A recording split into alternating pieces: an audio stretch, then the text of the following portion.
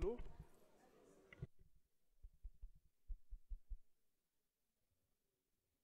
le Président Monsieur le Président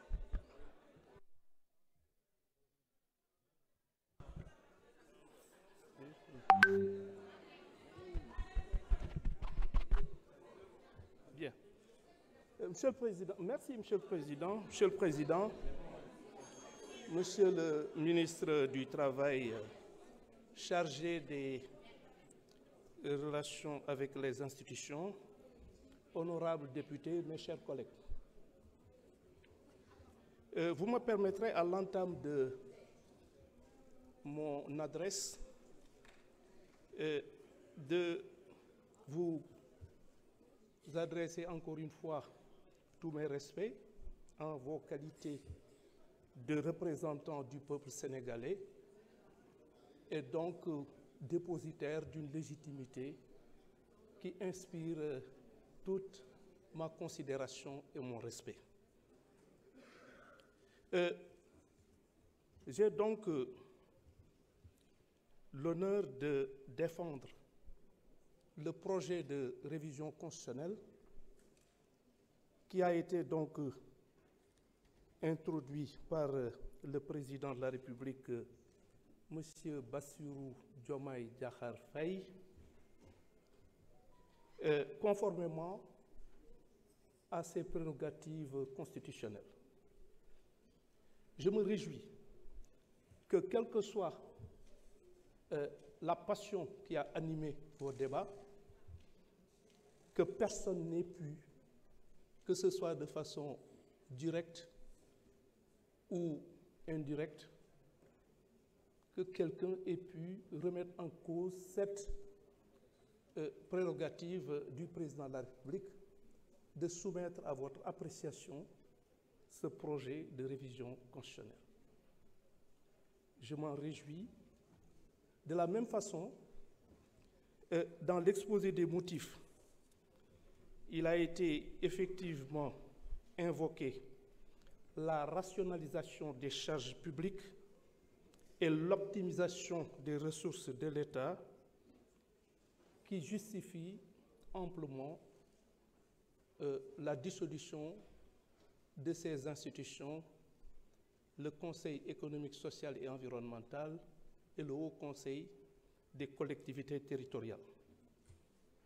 Euh, de la même façon, je dois reconnaître que quels que soient les griefs qui ont pu être légitimement peut-être euh, défendus, je n'ai pas entendu quelqu'un dire ou soutenir que, en tout état de cause, euh, quels sont les avantages à maintenir cette, ces institutions C'est-à-dire quels sont, d'une façon générale, euh, les inconvénients bien précisés qui pourraient résulter de, cette, de ce projet de dissolution. Quels sont les préjudices que l'État du Sénégal pourrait encourir ou subir en dissolvant ces deux institutions qui sont, qu'on le veuille ou pas, euh, je ne dirais pas budgétivores, mais dont les ressources pourraient être réorientées dans des secteurs beaucoup plus porteurs, beaucoup plus indispensables et beaucoup plus conformes à l'intérêt général. Je n'ai pas entendu un argumentaire dans ce sens-là, et c'est parce que justement, il serait difficile de nous dire le préjudice que l'État pourrait subir en euh, décidant de la dissolution de ces, euh, de ces institutions. On a beaucoup parlé d'élégance. Mais l'élégance, c'est d'abord un état d'esprit, un comportement et peut-être un port. L'état d'esprit, c'est quoi en fait? C'est de permettre aux gens de préjuger, de présumer que euh, les gens, même si on ne partage pas leur façon de voir les choses, sont animés des meilleures intentions. maanaam comme on dit en wolof rafet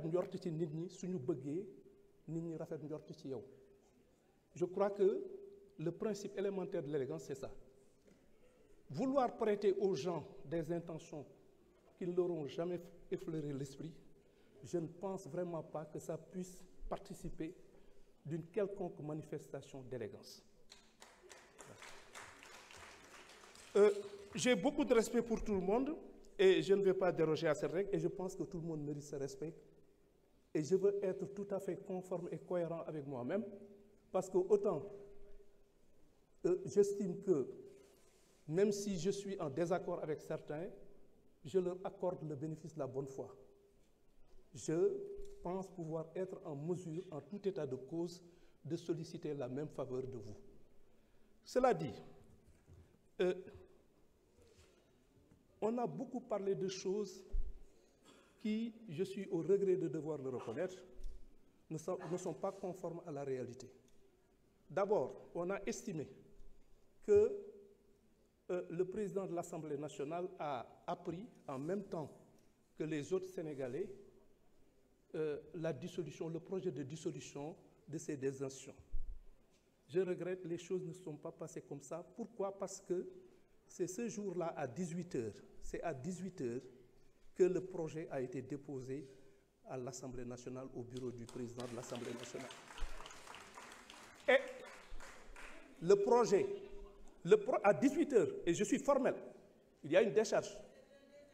À 18h, à 22h, le projet, le communiqué du ministre porte-parole de la présidence a été déposé à 22h.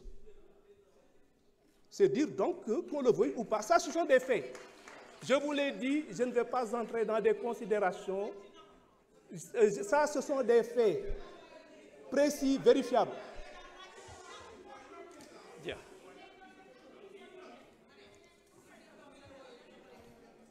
Euh, de la même façon,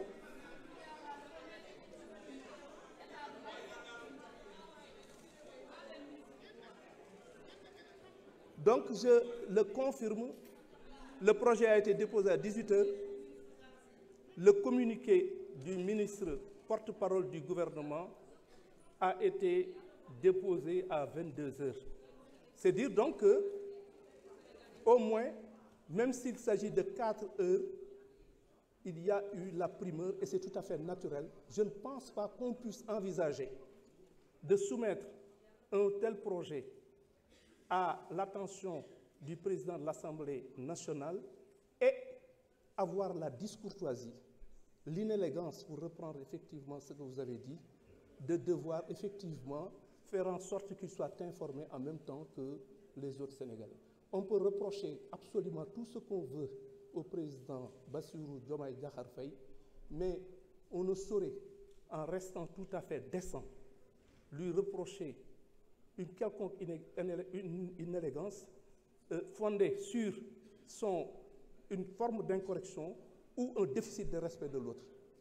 Je ne pense pas qu'on puisse raisonnablement lui faire ce reproche-là pour autant qu'on qu veuille rester dans les limites de la cohérence et la décence. Cela dit, euh, je voudrais également revenir sur euh, certains, un certain nombre de d'interpellations dont j'ai été l'objet. Euh, on nous a parlé du cas de l'ONAS. Je peux vous assurer que sur mes instructions, une enquête complète a été déjà ordonnée. Et je dis bien une enquête sur l'ensemble des faits. Et je peux vous donner ma parole que la lumière sera faite sur cette affaire. Parce que quand même, on ne peut pas, dans le cadre de cette affaire, se permettre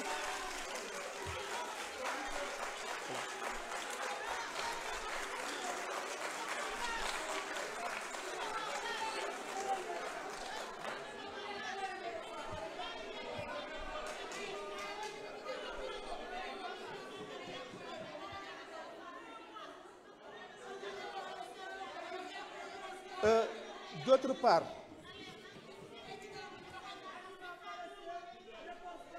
D'autre part, je peux également, comme je suis en mesure de vous affirmer que le projet de loi organique a été déposé à 18 heures, je peux vous assurer que la loi euh, organique portant règlement intérieur, modification du règlement intérieur de l'Assemblée nationale a été promulguée après avis favorable du Conseil constitutionnel et reçu le 29 août.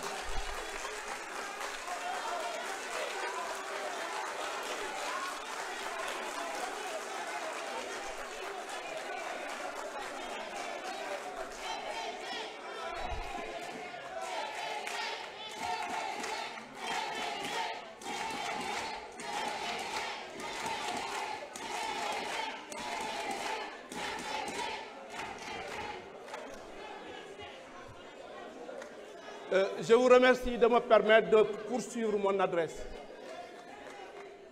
Et c'est la loi numéro 2024-12 du 30 août 2024 qui a promulgué, du 30 août. Donc, la loi a été bel et bien promulguée. Et ça encore, ce sont des faits. Euh, pour revenir aux différentes interpellations, notamment quelqu'un a parlé des personnes détenues au Maroc. Nous sommes, déjà en pourparlers avec les autorités marocaines qui sont dans le cadre d'un projet d'accord qui nous permettrait justement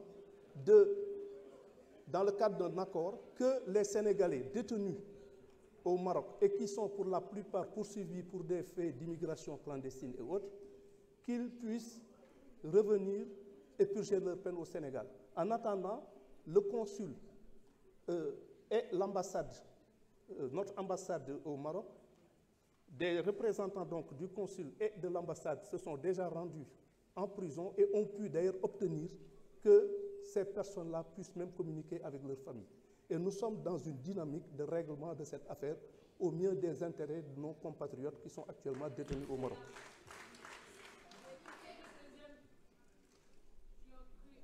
Pour le problème d'état civil qui a été également euh, évoqué, euh, une lettre circulaire a été déjà adressée aux différentes juridictions pour euh, poser, pour tout simplement demander aux magistrats compétents de faciliter l'obtention de pièces d'état civil aux élèves. Et d'ailleurs, on a commencé par la région de Ziguinchor, où le premier président de euh, la Cour d'appel, ainsi que le procureur général près la dite Cour, ont rencontré le président du tribunal d'instance et le procureur de la République, et on a pu effectivement trouver un moyen de régler définitivement cette euh, question.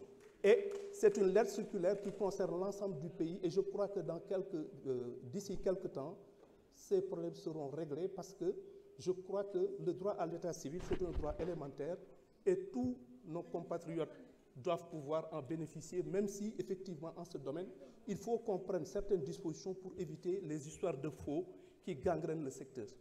Et vous savez, le faux en état civil, c'est assez courant et il faut un certain nombre de précautions, mais nous avons pu, sur la base ne serait-ce que de l'article 51 du Code de la famille, qui permet au procureur de la République, dans des circonstances exceptionnelles, d'ordonner à l'officier d'état civil de pouvoir euh, procéder à l'inscription sur les registres d'état civil d'une naissance euh, qui n'a pas été déclarée, évidemment, il faudra effectivement que le procureur de la République, comme nous avons eu à le faire à Ziguinchor, puisse le faire en parfaite cohérence et intelligence avec le président du tribunal d'instance, dont les attributions en la matière sont, sont effectivement un gage de transparence et de sécurité juridique. Euh, D'autre part, en dehors du problème d'état civil, nous avons eu à parler une seconde fois du problème du tribunal de grande instance de Kafrine. Je l'avais déjà fait comprendre à l'honorable député Abdoulaye Villane. Euh, dans le cadre du PROMIGE, c'est-à-dire euh, du projet de modernisation des infrastructures du ministère de la Justice, évidemment, on est en train de procéder à la construction de ce tribunal de grande instance qui va effectivement accueillir en même temps le tribunal d'instance. C'est le cas pour le tribunal de grande instance de Mbaké. Là, le cadre juridique est déjà en place. Malheureusement, nous sommes confrontés à un problème de magistrats et de personnel de justice. Mais nous sommes en train, dans le cadre du même projet, nous sommes en train de trouver les voies et moyens qui nous permettraient justement de pouvoir régler définitivement ce problème. Euh, C'est vous dire donc que, d'une façon générale, c'était là les observations que je tenais à vous faire, étant entendu que je pense qu'il est de mon devoir, en ma qualité de ministre de la Justice, et qui sollicite auprès de vous le vote de cette loi, je pense que tout ce qui a été dit, ou en tout cas les intentions qui ont été prêtées à l'exécutif, moi je pense que pour la plupart de ces intentions qu'on lui prête, ces intentions ne sont pas fondées. Donc, je me permets encore une fois d'insister sur la nécessité justement de voter cette loi qui nous permettrait justement de passer à autre chose. En tout état de cause, il s'agit de votre impérium. Et nous vous l'accordons, nous vous le reconnaissons. À charge pour nous, quelle que soit la décision qui sera prise par la suite, d'en tirer toutes les conséquences que nous jugerions opportunes. Je vous remercie de votre aimable attention.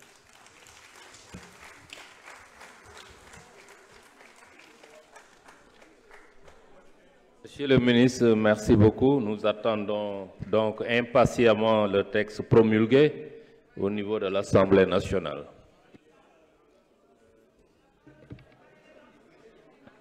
Mes chers collègues, la discussion générale est close. Je voudrais vous rappeler que ce texte a été rejeté lors des travaux de la Commission. C'est pourquoi, en application des dispositions de l'article 76 de notre règlement intérieur, je mets aux voix le rejet. J'ai reçu, regardez le règlement intérieur, chers collègues, à l'article 76. J'ai reçu deux propositions de mode de vote du groupe Yewi Askanui proposant un vote au, scrutin secret et, et, une proposition de vote et une proposition de vote du groupe Benno Bok Yakar signée par nos collègues. Minimum 10, j'en ai reçu 18 de part et d'autre qui demande un vote à main levée. Je, j'ai reçu, écoutez,